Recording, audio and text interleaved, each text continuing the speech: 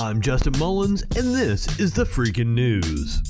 Oregon became the first state to decriminalize hard drugs like heroin and methamphetamine and to legalize the therapeutic use of psilocybin mushrooms.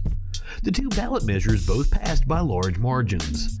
Measure 110 would completely change how Oregon's justice system treats those who are found with personal use amounts of hard drugs. It received 59% of the vote, according to unofficial partial results from the Secretary of State. Among those in support of the Oregon measure were the Oregon Nurses Association and the Oregon chapter of the American College of Physicians. Two dozen district attorneys said the measure recklessly decriminalizes possession of the most dangerous types of drugs and will lead to an increase in the acceptability of dangerous drugs.